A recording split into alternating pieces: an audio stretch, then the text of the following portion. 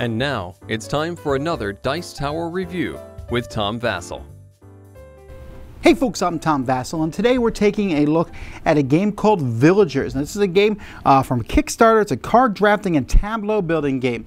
And honestly, when I looked at the cards, it gave me a kind of a Glory to Rome vibe to it. But it's a game in which you are drafting cards from the middle and then putting them in your village, trying to get points. In this game, it's money. As you place these cards out, they're going to earn you a certain amount of money uh, over two phases of the game. And then the cards themselves might give you special abilities and things like that. Now, the game looked fairly complex, but I've come to find out it was a pretty simple game, which is kind of a relief and a nice thing to see these days. Uh, and I'm and I'm trying hard to think of a game that's really like Villagers. It feels fairly unique. Let me show you.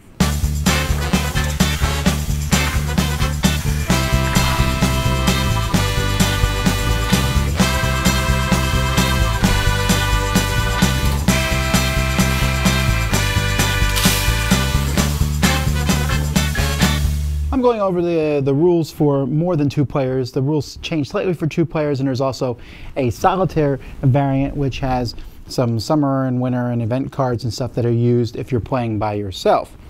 Each player is going to start with a village square in front of them, has two sides, regular, and this one basically just tells you the different phases in the game. And you also start with founders. These six cards are always the starting cards. The rest are shuffled in a big deck of cards and placed here. This is considered the road. There's a first market and second market card here. Now, these are reserve cards, so some of these cards are going to be out. Some of them are going to start in players' hands. And you can always tell what the suit of a card is by the back of it, but you're not quite sure what is on the other side of the card. So the game's going to go over until it ends, and which, which happens when this last one is taken, this last pile is taken, and the second market is scored. Players are trying to get the most coins. Whoever has the most coins is the winner of the game. Now what players are doing on a turn is there's two phases to each round. First, there is a drafting phase. So in a drafting phase, starting with the start player and going clockwise, each player will draft two villagers. However, if you have a villager in your village who has this symbol, for each one of those symbols, you will be able to draft an additional villager. So you'll be able to draft a third, or if you have like this one in play, a fourth.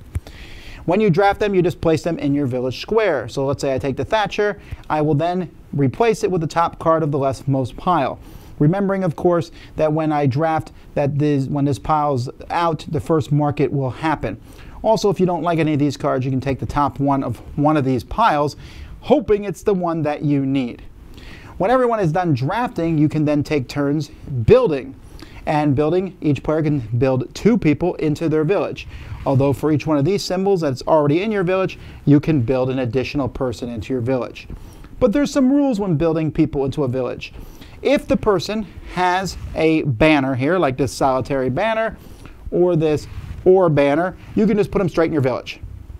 However, other than that, they need to go on top of something else. So for example, this blacksmith here, he can't go on a table. The blacksmith must go on top of a miner. So you'd put him like this on top of the miner.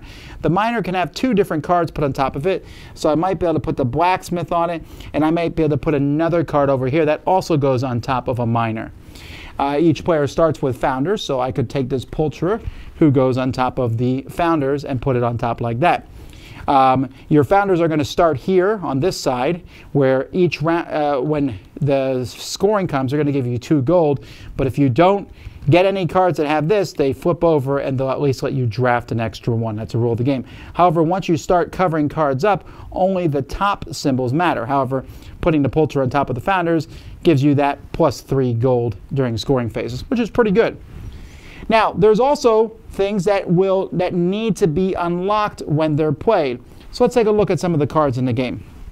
So for example, if I want to play um, this Weaver here, the Weaver can only be unlocked if there's a Carpenter in play. So if the Carpenter is in play, which is this card here, then whoever plays the Weaver has to pay the person who has the Carpenter two. You just put two coins on top of the Carpenter card. If the Carpenter card is not out, then the Weaver will pay those two coins to the bank. If I play the Weaver and I own the Carpenter, then the bank will put two coins on top of my Carpenter.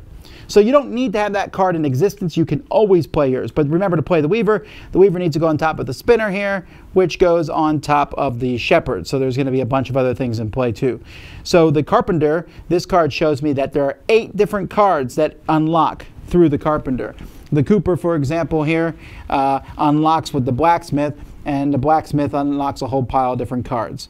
So most of these cards, when you get them, you're wanting to put them on top because when a first market or second market happens, all the gold coins will give you money in the first market, and in the second market, all your silver coins and gold coins will give you money. So for example, this gives you three gold for every two ore symbols you have. If, the, if, if you've earned money from unlocking stuff, like for example, if the Cooper has $4 on it from unlocking things, you'll also get that amount in the first and second market. So the more cards you unlock, the bigger your income is going to be. And you can see that several of these cards will give you a lot of income when they're on top of other cards. That's pretty much the whole game. I should mention that there are miners, hayers, and lumberjacks over here. And these cards are the basic ones for the hay, wood, and ore suits. And if you want to put one of those in play, you can do so. It doesn't cost you a build action. You simply discard a card from your hand on top of one of the piles and just take it and put it in front of you. So you can always get miners, hayers, and lumberjacks. But if you're looking for something that's at the bottom of one of the other ones, maybe the grapers, for example, you need to hope that they're in play. They are not in play. However, there's also cards that are special cards, like the monk here, who is a wild of any type, and there are other special cards that will allow you to do various special abilities over the course of the game. This one unlocks any padlocks, and all villagers played with this tinner for free.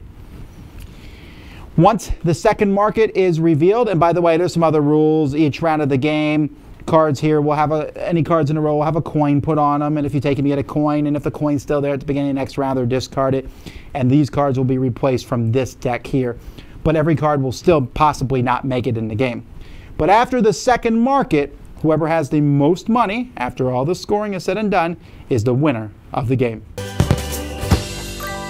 so component-wise, the game comes in this box here. I'm not sure how much I like this box. It's it's decent. It holds the cards well, and it has these this, this is where all the coin counters were held, but once you take them out, you know, then what does go in there? And, I, and, and this box itself, it's okay. I'd rather just a square box myself, frankly. It, but on the plus side, it does come with some very nice uh, tiles here to keep track of all. Some of the cards are for four more players, and you can put these, you know, in in the box here to keep track of it. The coins are okay. Happily, I got this. I don't know if this is Kickstarter exclusive or not, but there's a little box full of wooden coins. Ooh, that are so much nicer. It's hard to use those, those cardboard coins. The art's nice. I like the fact that each of the cards, uh, these basic cards, has two different artwork on both sides of the card, but it's very, very stark, but yet at the same time looks good. Really easy to tell apart what the cards do. You can instantly tell if the card is locked, what card unlocks it, how much money it makes, is it used in a four or more player game. Uh, overall, I thought the component quality of this game, very good.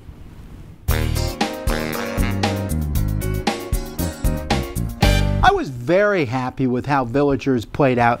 It's a very simple game, and there's more Kickstarter cards that I guess can be thrown in, and I mess with them a little bit. But just the base game is really entertaining. Those six initial cards, which ones do you want to get? And it kind of like leads you on a path. You can just go for cards that are worth big points. So when I go through these piles of cards here, and I'll say, okay, ooh, you know, this this person here, the the Fromager, I'm not sure how you pronounce that. That's 15 coins. That's cool, but I need a milkmaid and a grazier and a hayer before I can do that. Well, the hayer is easy to get, and then building on top of that. So then you're looking for specific cards. Now, this can lead to some people being annoyed because these grapers, you need them to get out the vineyards and some of the other people in the game. And so to build upon those suits, you're going to need to find those other cards, and they may not be in that particular game, so you're gambling a little bit. And I don't mind that. I like that that gambling aspect's there, but some people want, you know, everything to be set in stone and know where all the cards are. Some of the players I play with mentioned that. That didn't bother me. I like the clean look of the game, and I like how simple it is. At first, I thought these cards that give you more drafts and more buildings, I felt like you have to do those. In fact, the building one especially, because it feels like if you're not, you know, if every card you get out on the table is going to get you points, and that's true. But the cards that give you more building and more things might not help you out so much. In fact, the cards that unlock other cards, those could be really great. But then I'm sitting there going, I don't feel like playing this card because I know I'm going to give you two more coins. And that really irritates me. I don't want to give you any money at all if possible because That's the points of the game. And so that back and forth, there's no take that. There's one card that lets you take a card from another player and replace it with this card, but it's a card that's already underneath the other card, so it doesn't affect them. And that's kind of interesting interaction. Uh, other than that, the only real interaction is the, the locking mechanism where you pay other players money. And that's like their good fortune. I'm picking the blacksmith because I know people are going to want to use him. They're going to want to give me money over the course of, not going to want to give me money, but they're going to want to use cards that get him. Or maybe I'll just take the card that gives me straight up money. Or these other cards, there's a lot of solitaire cards at the end of the game that you might play that build on. They get points from these icons. This is not this great in depth game. I do not think people are going to write long strategy guides for villagers. And that's fine. It's a straightforward, simple game, easy to play, easy to teach. The most complex part of the game is remembering what cards come down from the top and how the reserve pile is different than the cards in the row. That's a little clunkier maybe than I would like, but the rest of it flows pretty smoothly, and I like it. That's Villagers. Dice Tower Judgment approved.